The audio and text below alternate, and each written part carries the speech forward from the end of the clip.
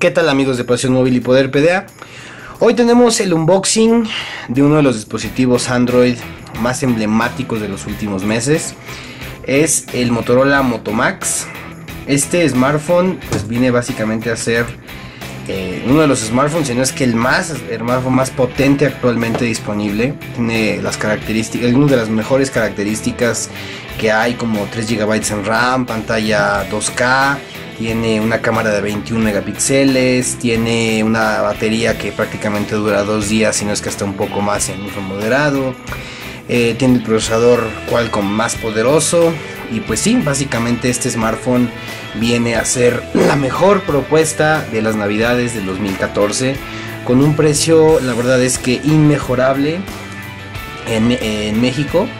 Eh, no estoy seguro del el precio sea también tan, tan competitivo en otros países de Latinoamérica, pero la verdad es que es verdaderamente impresionante lo que está haciendo Motorola con este smartphone. Eh, cuyas características pues compiten con la de otros titanes que tienen precios 2.000, 3.000, 4.000 pesos más arriba. Entonces pues qué les parece si hacemos el unboxing, ya saben que hacemos dos videos siempre, un análisis completo y el unboxing. Regularmente el unboxing lo hacemos a cámara fija porque resulta un poco más sencillo hacerlo así, pero el análisis siempre lo hacemos ahora sí que con producción completa. Y pues bueno, aquí está el smartphone. Como pueden ver, pues no me aguanté y lo saqué hace rato. Ah, la verdad es que en cuanto lo recibimos de parte de nuestros amigos de Motorola México, eh, abrimos la caja para pues ahora sí que ver el dispositivo y, volverlo a tocar. La otra vez los mostramos. Eh, no, bueno, sí lo vieron en, lo que es este poderpeda.com, en nuestra nota que hicimos del evento. Pero eh, pues aquí está el dispositivo. La verdad es que se siente un poquito más pesado que lo que es el Moto X de anterior, eh, lo que es el Moto X 2014. Pero eh, la verdad es que vale la pena con todo lo que tiene, ¿no? Sinceramente el diseño pues no es precisamente bonito en, el sentido estricto de la palabra, a diferencia de las, de las curvaturas y del el, borde metálico del Moto X. Este se siente un poquito, pues un poquito inferior en el sentido estético y, y digamos en primera impresión. Pero pues este smartphone la verdad es que se lleva de calle al Moto X en varios sentidos, sobre todo en el tema de la batería. Los voy a sacar un poquito para que lo puedan ver. Vamos a, enfocar, ahí está. Eh, la parte insignia más importante de este smartphone es esta parte de aquí atrás que es, eh, le llaman nylon balístico, que en realidad, perdón, este Kevlar balístico, que en realidad pues no es nada más que una textura digamos similar a la tela pero que se siente pues un poco plastificada similar a la textura que sentirían en algunas mochilas eh, la verdad es que se siente bien al agarrarlo no, no se resbala se siente sólido en ese sentido y obviamente el peso adicional pues le da una mayor seguridad al tomarlo en las manos pero pues fuera de eso, si nos fijamos en detalles pequeños, la verdad es que es un equipo pues bonito en, el sentido geek de la palabra. Y pues qué les parece si vamos a proceder a quitarle el plastiquito protector. Vamos ahí, aquí está de este lado la pestañita. Ahí está. Ahí va. Ahí está. Y pues bien, aquí está la pantalla Vamos a encenderlo. Es, la verdad es que se ve muy muy bien. Obviamente tiene unos ángulos de visión excelentes. Que pues no hemos visto en otros equipos Motorola, de no ser el Moto X y a lo mejor algunos el Moto G nuevo, pero realmente pues es un equipo impresionante en varios sentidos. Los botones vienen también aquí en, en metálico, se sienten bien, pero vamos a dejar un poquito el smartphone de lado y vamos a ver qué más trae la caja.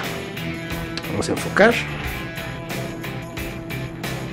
Ok, bueno, aquí encontramos esta pestañita verde, digo esta cajita verde que donde vienen algunos, es un envoltorio más que cajita, donde vienen algunos manuales, lo que es la guía de inicio,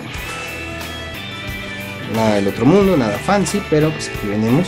Algo destacar es que no tenemos una una manera, este, digamos, de, sacar la bandejita, porque este se abre de manera diferente, ahorita vamos a ver eso. Pero, ah, pues acá tenemos lo que es el cargador. Este cargador, eh, no les puedo decir en este momento si es la versión de carga rápida, pero me parece que sí es por el tamaño adicional. Este, esta caja, por este cargador, es digamos pues un poquito pues más choncho que de costumbre, está bastante más grande, más alto, más gordito, por lo que creo que sí es la versión que carga el equipo que le da 8 horas de autonomía en solo 15 minutos de carga, ¿no? lo cual es la verdad es que muy muy bueno en estos tiempos en los que la batería de los smartphones pareciera haberse estancado, el tema del desarrollo de baterías, pues ahora Motorola nos sorprende con, con esto. Pues aquí viene, de hecho viene protegido, vamos a quitarle también el plastiquito de esa cosa, ahí está. Y la verdad es que este cargador pues se ve bastante estorboso, pero pues con esta función adicional la verdad es que no hay mucho que, que reclamar al respecto. Ahora acá tenemos obviamente el cable micro USB Vamos a abrirlo también. Es un cable pues normal, común y corriente. Sí, común y corriente. Que me ven feo aquí al lado. Pero en realidad este cable realmente su única función es conectarlo aquí a lo que es el cargador y a lo que es el dispositivo. No es muy largo el cable, pero pues hace su función. Obviamente el cargador tiene un puerto USB y pueden cargar otro, este cargador puede cargar otros dispositivos o podemos usar otro cable sin ningún problema. Pero pues bueno, eh, esto fue todo por ahora amigos. Eh, recuerden suscribirse a nuestro canal y darle like a nuestros videos. Recuerden que vamos a publicar un video análisis completito del Motorola Moto Max como siempre lo hacemos. Esperamos sacarlo un poquito antes de, tiempo, que regularmente nos hemos tardado más, pero en verdad es impresionante este dispositivo a primera vista. Pues los dejamos ir, eh, por favor suscríbanse. Esto es Pasión Móvil.